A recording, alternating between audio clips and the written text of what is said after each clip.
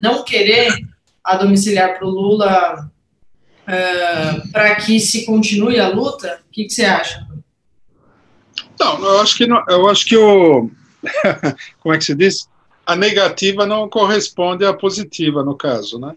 Eu acho que a gente deve denunciar que essa questão da liberdade domiciliar do Lula é uma manobra para esvaziar a luta pela liberdade do Lula, pelos direitos democráticos dele, né? Se ele vai para casa, o pessoal fala: bom, não está mais preso. Então cria aquele clima como se não tivesse, né? Urgência, não tivesse maiores complicações. Eu acho que esse é o sentido de todo um setor que propõe a liberdade domiciliar, uh, propõe a prisão domiciliar. Agora, logicamente que as pessoas estão denunciando isso não necessariamente querem que o Lula fique na cadeia, porque é meio estranho, né? Mas a gente tem que denunciar e tem que preparar o espírito das pessoas para dizer que isso é apenas uma manobra, não é liberdade de verdade, não serve para nada, e, portanto, né, a reivindicação concreta tem que ser o cancelamento de todos os processos que o Lula sofreu.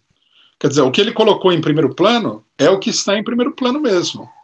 Né? Acabar com a, a cassação política que foi imposta a ele. Não é apenas um problema de, de liberdade ou não liberdade. E depois também ele coloca, e ele, ele tem razão, ele tem, ele tem mais do que motivo para achar isso daí, que ele deve ser inocentado, porque ele não fez nada, não se provou nada contra ele, e provou-se, pelo contrário, né, está se provando a cada dia, a trama conspirativa que foi feita contra ele. Então ele, tem, ele também tem razão de falar, eu quero que o meu nome seja limpo também. Claro, e ele insiste muito nisso em todas as entrevistas que ele dá, né? Que ele não vai sair de lá enquanto não provar que o Moro é que é errado, né? Que o Moro é bandido.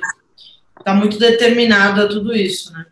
É, nós, nós estamos com ele nisso daí. É, realmente é um problema. Ele é uma figura política, ele não é qualquer cidadão. Ele é um grande líder político do PT, da esquerda. Né? Seja qual for o pensamento que cada uma pessoa tenha sobre ele, esse é um fato. E ele tem o direito de que é recuperar, recuperar, de é, liquidar todas essas tentativas né, de enlamear a reputação dele, recuperar os seus direitos políticos e recuperar a liberdade.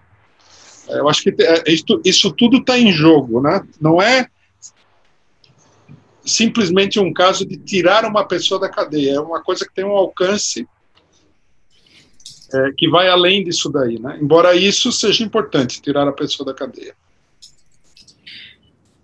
Tem bastante